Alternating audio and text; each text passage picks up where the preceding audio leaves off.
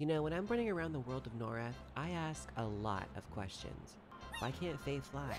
Why did the moon explode? Why are all Erudites complete backstabbing bitches? Nothing against Erudites, though. Now, I know some of you are going to be like, Tessa, who cares? We gotta go kill everything to get the big loot and PvP. And that's all fine and good. But you see, I'm what's known as a filthy, disgusting, casual Lore Master. and I had to know these things. So today, I'm going to explore the oceans and dive deep into something that's always interested me in the world of Norrath. And I'm not talking about crabs. I'm not talking about sharks. Heck, I'm not even talking about fish. Today, we're gonna learn about sirens. The sirens are beautiful creatures of the aquatic realm, humanoids with beautiful fish scales covering the majority of their bodies. The sirens hail from an undiscovered underwater city in the depths of an unknown ocean. Okay. Long thought to exist as a race of women, they do have menfolk, but the women are more outgoing of the sexes. They are the keepers of the secrets of the oceans, having existed for as long as the elven races. Now, if we want to know more about these beautiful fish ladies, we're gonna have to slaughter them. It is an MMO after all. After killing tons of sirens, you will eventually complete their lore and legend quest, which gives you a cool book. A book of lore.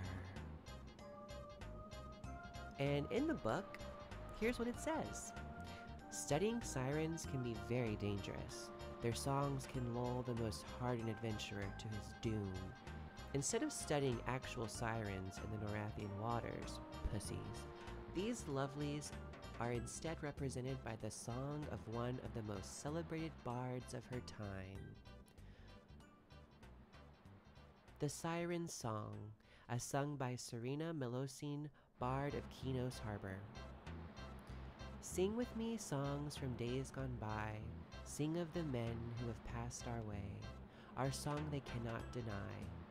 Though I am bound to the sea, and I mean not to lead them astray, many are men who come to me. All along the shores I sing, through the night and into day, touching the mariner's heartstring. My long hair is green as softest sea foam, as soft as the ocean spray. My melody follows the men as they roam. Do you hear the song of the sea from aboard your ship as it sways? Do you feel the need to fall in love with me? I am a siren, sisters are we. Come to us, come to us and stay. The siren song will set you free. Join with me now in Prexus's depths. Nothing but water can come between us. I promise you a boundless joy. Sing with me, mariner, a soft song that flows like time across Norrath's seaway. The call of the siren can be so strong. The mariners last not, they never remain. And soon their cold flesh turns to gray. We sirens begin again our refrain. Sing with me songs from days gone by. Sing of the men who have passed our way. Our song they cannot deny. Okay, so we have learned that they're beautiful sea ladies who are probably created by Prexus, and they are so dangerous they couldn't even be studied for their own lore book. I need more. Exploring north, I came into Zek, the Orcish Waste. This land was once the verdant, jagged pine forest from EverQuest 1. No longer, though. The Death Fist orcs have largely deforested it and built a massive fortress for their emperor, while the forest's remaining denizens have become twisted and hostile. Trents are getting cut down, death is everywhere. It's pretty sad. The remaining Fey creatures, which sirens are considered Fey by the way, do what they can to protect what little untouched forest they have left from the Disgusting. orcs. Man, I hate orcs.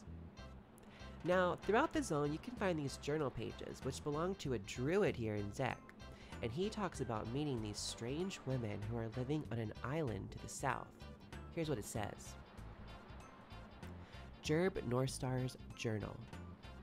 This book is a journal that was kept by a druid who lived within a deeply forested land and investigated some new visitors that came to live within his forest. Entry 38. I have spoken with Leftpaw, and he told me that there are visitors within the pines, though he was interested in the salmon. And between mouthfuls, he told me that I would find them down by the shore. I may wish to see who these guests are and what intentions they have. Entry 43. I have seen our visitors from afar. I cannot tell for certain what they have planned, but it looks as if our guests may be staying for a while to come. I believe I shall introduce myself to these women so that they know the glade and the pines are already being looked after.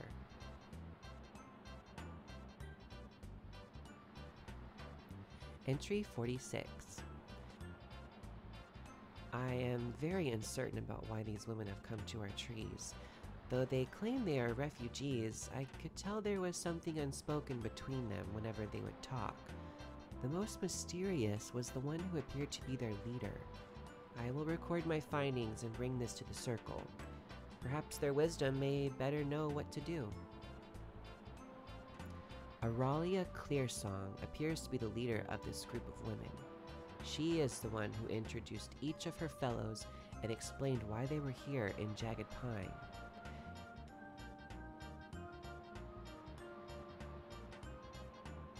She said they would take refuge on the small island for the time being and leave it as it was when they were done.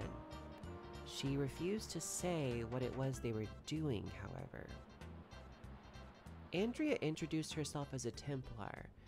I was unfamiliar with them, but she assured me it was just a word her people used to describe those who held faith within their hearts. I was unable to get her to tell me what god she worshipped, which draws my suspicion. Abella claimed to be a sorcerer, she explained that she drew energies from the surrounding air and crafted them into other forms.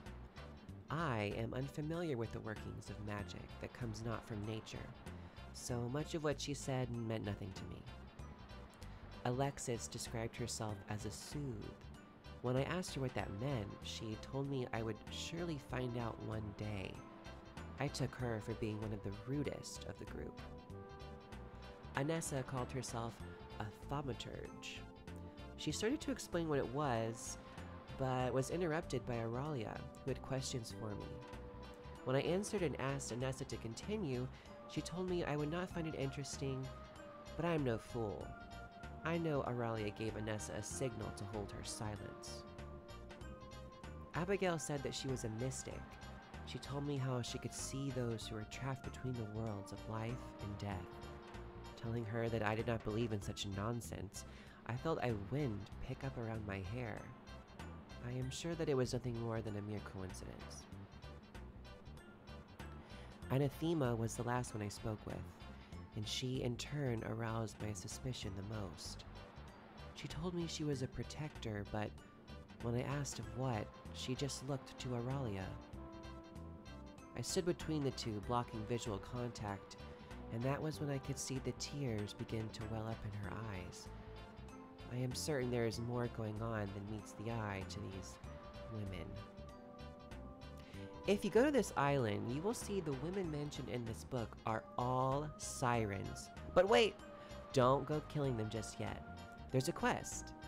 The game is called EverQuest, after all. Killing mobs throughout the zone, preferably orcs because they fucking suck, will drop a lump of coal that gives you a vision. I have received a vision of a ring of stones. In the vision, I brought this worthless object to the center of the rings and touched one of the great stones. I'm not too sure what it meant, but it might be worth my time to investigate this vision. Now, we know from exploring that this ring of stones is for sure the Druid Ring, which is still standing and being defended by the remaining fairies. Fae are so cute. When you go to the stones, you can examine the little lump of coal in your inventory and you'll get an update. I've touched the Druid Ring stones, and I've received a clearer vision from the ancient Ring of Stones. What I believed was a worthless object appears to be some type of relic. My vision showed the relic glowing, but only after I had taken the necessary steps to recharge it with its lost power. Now, this is where it gets interesting. The quest says in order to recharge this stone, which is clearly a piece of this druid ring, you have to slay all of the Aralian sirens and absorb their power. Going back to the journal we found where the druid met these women and clearly suspected they were up to something. And now we know they had something to do with harming the druid ring. Yeah, sirens are definitely bad, but not as bad as orcs. Or erudites for that matter. Going back to the island and slaying the sirens will spawn a named siren at the top, and it's none other than Aralia Clearsong, who we know from the journal that she is the leader of this group. Killing her is not part of the quest, but might as well do it anyway. After you kill the sirens, you'll get a quest update. I have charged this relic with some type of unknown power, I believe I have removed some type of corruption that prevented it from realizing its true potential. The fact that it says you removed the corruption from the stone makes it even more clear that these sirens, Fae or not, were only here to do harm. Oh, and if you notice by Aurelia, there's a bloody corpse, which is probably the druid whose journal we read. Then you can return the stone to the druid ring and the quest will complete. I have brought the relic back to the Ring of Stones and laid it where my vision showed me. A moment later, I spied something glittering on the ground. I believe I have cleansed one of the stones in the ancient Druid Ring. When I laid the emblem within the ring, I spied a glittering object, which I believe was a thank you from the stones. Fairies are so cute. So that was a cool little storyline involving sirens that I discovered in Zek, but there's more. In Thundering Steppes off the west coast, you can find, you guessed it, sirens. But unlike Zek, this looks more like an established home for them. Swimming down into the ocean, you will find a temple surrounded by sirens. I explored the area a lot and there were sirens in groups all throughout, but I couldn't find any quests for them. I did notice that if you kill a large amount of sirens at this temple, a special named siren will spawn called the Sister of Sorrow. But only an evil person would want to go and do that. Basically, sirens are pretty sea ladies who are considered fae but totally evil, and not much is known about them due to them being very dangerous and secretive.